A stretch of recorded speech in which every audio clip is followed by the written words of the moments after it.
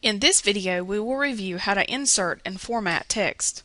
To change text to WordArt, select the text, click the Drawing Tools Format tab, click the More button on WordArt Styles, and then choose an appropriate style. If necessary, return to the Home tab and increase the font size.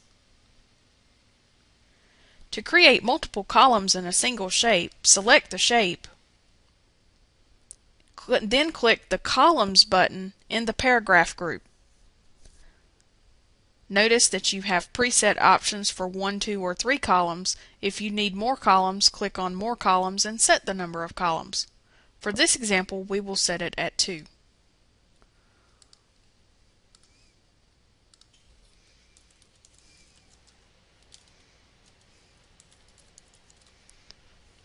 To insert a hyperlink, select the text or object, click on the Insert tab, and then click on Hyperlink in the Links group.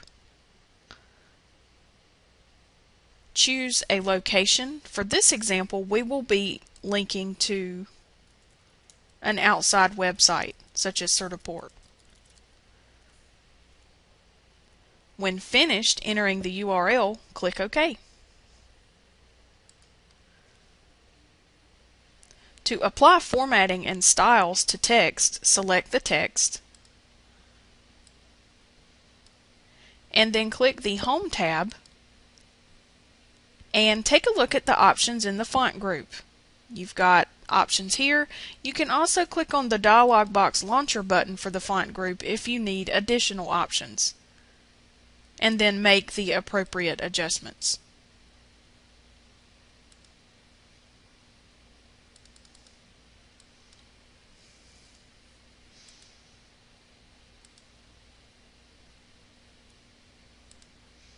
Once you finish, click OK.